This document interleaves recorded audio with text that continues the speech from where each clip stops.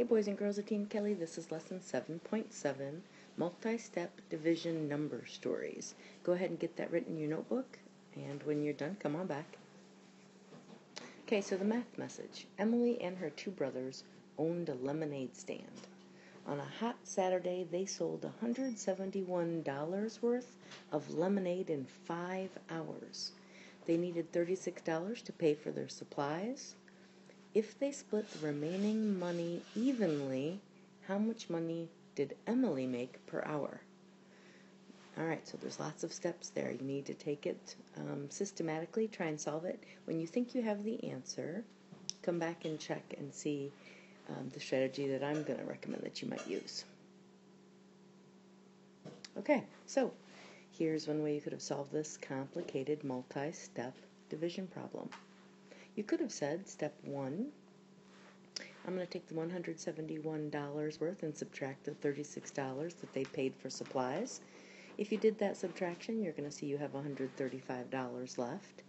Then you could have taken the $135, divided it by 5 because they worked for 5 hours. And that gives you $27. You can see here I did partial quotients in order to solve that. And I did 5 times 2 is 10, so 5 times 20 is 100. Excuse me. And then I subtracted, and I know my multiplication facts. 5 times 7 is 35, which then gives me 0. Answer is 27. Then I'm going to divide the 27 by the three people, Emily and her two brothers. That gives me three people. If I do that, simple math fact, gives me 9. So how much did Emily make per hour? $9 each hour. Okay? So if you can follow along those steps, let's see if you could also do a formula that would go along with that. So remember we were talking about PEMDAS. Please excuse my dear Aunt Sally. Um, so keep that in mind because that's going to help us to know if I'm writing out my formula what steps I'm going to need to do first, which is why I'm putting the parentheses where I have them. So the p is parentheses, right? We don't have any exponents. We don't have any multiplication. We do have division. Um, and we have subtraction. So if I want to go in the right order, I had to do the 171 minus 36. Well, if I didn't put these parentheses around this, I wouldn't be doing that first, right? Because subtraction's way at the end. So I had to put these parentheses here.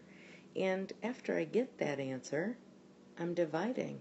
So I have to put parentheses around this whole problem, the 171 minus 36, the answer of that, divided by 5 is what I said I wanted to do, right? That's where this second set of parentheses is coming from. And then I'm going to divide that whole thing by 3. That's going to give me my pay per hour. So that's the way I wrote that formula, keeping this in mind. You're going to get a chance to do that on another problem, okay? Here we go. So, on this one, Mrs. Smith owns a costume shop. Varsity Blues asks her to order two kinds of hats top hats and bowler hats for an upcoming performance. She placed two orders for top hats, which cost her $132. Three top hats came in each of those orders. She placed two orders for bowler hats, which cost $160. Five bowler hats came in each order. Now each actor is going to pay for his or her own hat. How can Mrs. Smith figure out how much to charge each person?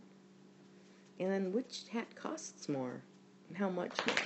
So you got several questions you're going to try and figure out the answers to there. I want you to pause the video, solve this in your notebook. When you think you have the answer, come on back.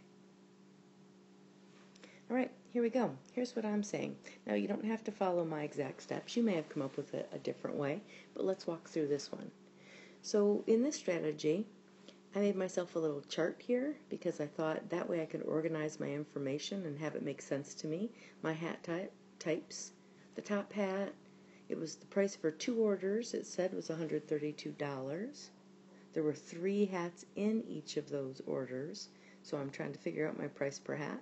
Same thing here, the bowler hat, $160, two orders, five in each one, trying to figure that out. So to figure this out, I know my total, and I know one of my pieces, it's clearly going to be a division problem, right? That's what I did here. 132, I divided it by 2 because there's two orders. And I did 2 times 6 is 12, so 2 times 60 is 120. Subtracted, giving me 12. I know 2 times 6 is 12. Therefore, $66 for each of the orders. But there were three hats in each of those orders, so I'm going to divide the 66 by 3. That's, I know 3 times 2 is 6. That made it 3 times 22 is 66. So $22 per hat for the top hats. I did the same kind of concept for the um, bowler hats. You can see here I did $160 we said for the two orders. So if I divide that, I know 2 times 8 is 16, so 2 times 80 is 160. But there were five hats in each of those orders. So 80 divided by 5. 5 times 10, 50. Subtracted that. Gives me 30. 5 times 6 is 30. So 16 is the amount that it's going to cost me per hat. So I wrote that down for you over here. 22 for the top hat, 16 for the bowler. Still haven't answered the which hat costs more and how much more. So I'll subtract there, give me 6. So the top hat is $6 more. I've answered all of my questions. Again, could I do a formula for solving that? Pretty certain I could. Hopefully you were able to follow along with that as well. so here's what I did. I did, I'm still thinking of PEMDAS, right? So I'm going to use some parentheses because I have to do one thing before another. So 132 divided by 2, then I divided that by 3, and I subtracted from that the $160 divided by 2 for the two orders, divided that by 5, and the difference is what I'm going to end up with when I do that problem.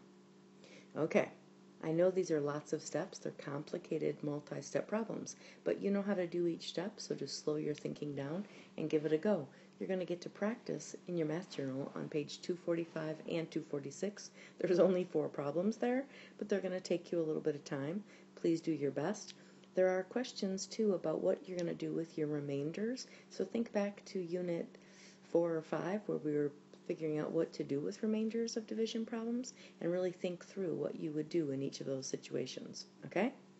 When you think you have those pages done to the best of your ability, come back and check the answers. Make sure you circle problems that you got wrong and make your corrections in pen. So when we're trying to talk about it whole class tomorrow or Monday, um, you will be able to show me what it is you need some more help on.